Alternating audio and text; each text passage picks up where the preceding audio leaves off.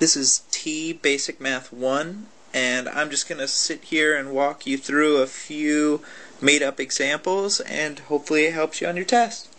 So first off, uh, we'll start with Bob. Uh, Bob wants a red hat. The red hat costs $40.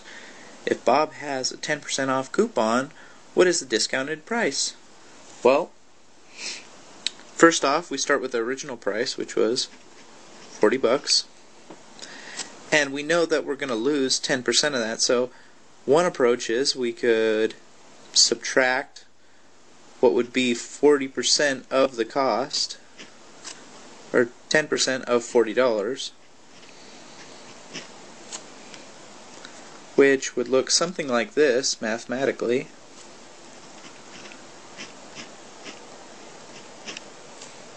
And then it would just solve out to be 40 minus 4 equals 36 bucks. Another approach would be to say $40 times 90%, which once again would look mathematically like 40 times 0.9, and that would equal 36 bucks as well. That's just saying I only want to see 90% of it. Great. So let's move on to the next problem. If Mike ate one third of all the apples and James ate one half of the amount of Mike, how many apples are there total? Mike ate six. Well, it says in the beginning, as you can see right over here, that Mike ate one third of all the apples. So therefore, there must be three times as many as Mike ate. So 6 times 3 equals 18. Mathematically, we could look at this as 6 uh, divided by 1 over 1 third,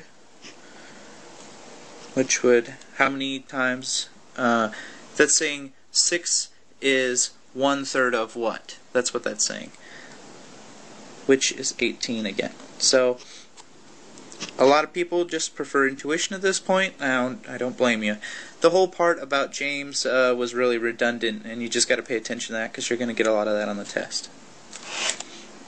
Uh, moving on, there are eight red marbles, two green marbles, seven blue marbles. What's the least number of drawings possible to get three colors? Well, you got three colors, three draws. And the reason that is is because there's three different colors, and what if you got a red, a green, and then a blue right off the bat? You're just the luckiest you could be. So that's the best case scenario. What's the worst case scenario? What's the maximum number of draws? The worst case scenario? What if you got all of the reds and all of the blues? Because notice how they're the two highest ones. So all of those plus one green. So 8 plus 7 plus 1. Well, 8 plus 7, that's 15, right? Plus 1, that equals 16. 16 draws. And the reason that uh, we picked that is because those red and blue, they were the two uh, highest number.